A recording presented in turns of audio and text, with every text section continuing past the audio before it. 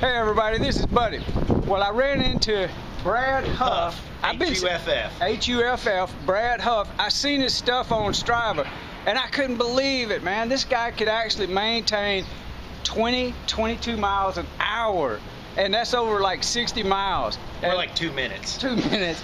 And he's telling me uh, you have gone pro. Oh, yeah, for about 10 years now. Ah, well, see, it don't show up on Strava. Yeah. Now, who you ride? Nobody needs to know, just me. You ride for Op? How you? Optum. Optum presented by Kelly Benefit Strategies.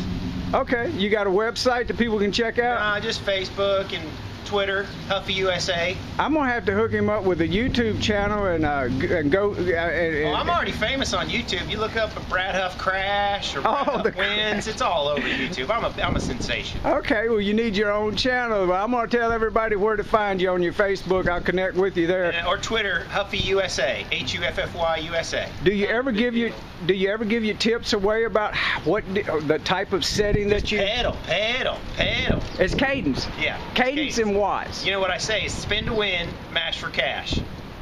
Oh, all right. Check him out on Thanks, Facebook. Buddy. I put I'm gonna put these links in the box.